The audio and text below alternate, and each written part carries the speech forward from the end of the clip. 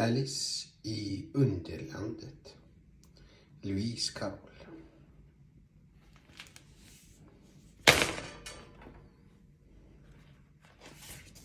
Han var en begåvad han, matematikläraren.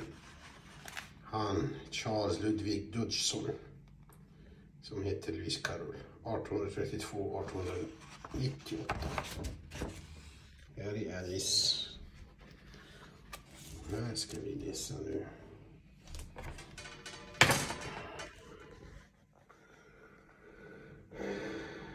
Nej, så var det inte. Det vet, det vet jag säkert, sa stackars Alice och tårarna kröp fram i ögonen på henne igen medan hon fortsatte. Då är jag nog Marie i alla fall.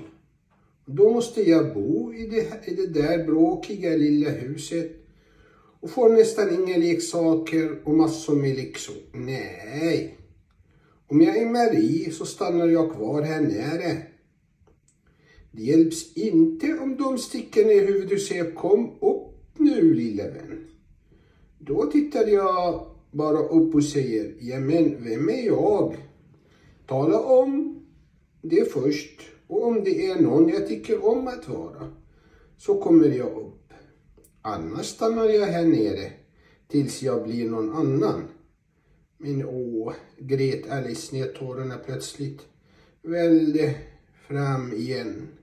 Åh, vad jag önskar att de skulle skicka ner huvudet hit. Jag är så hemskt trött på att vara alldeles ensam här.